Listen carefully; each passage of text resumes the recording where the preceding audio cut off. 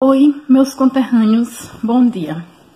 É, hoje eu vou falar sobre as chuvas na região de Sertânia, no sertão em si, mais especificamente em Sertânia, porque é minha cidade. Saí de Sertânia há 20 anos e já se sofria com a falta de abastecimento de água. A chuva ela veio mostrar que não sofremos de falta de água, sofremos de falta de políticos capazes de gerir, de fazer um planejamento adequado para oferecer isso à população. Água agora se tem aos montes.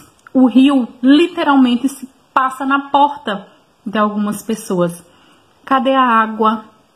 As pessoas continuam comprando água nos carros pipas, continuam recebendo as bênçãos da missão pipa, né?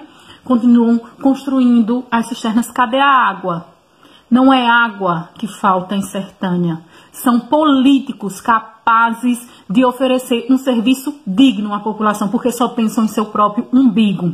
Agora, você que tem político de estimação, que dá bênção aos coronéis, podiam pensar nisso. É falta de água? Foi falta de água? Nunca foi falta de água.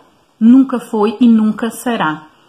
Eu espero que a gente aprenda e tenha consciência que o nosso poder, a nossa voz está lá na urna. Eu acho que já passou da hora de acabar com essas oligarquias aí em Sertânia. Porque ninguém precisa viver de migalhas, não. Há um potencial enorme com empresas que estão instaladas em Sertânia e ainda vão ficar um tempo. E quando essas empresas forem embora, a gente vai voltar a viver de quê? Eu tenho família em Sertânia.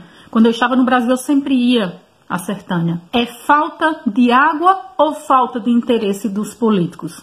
Respondam.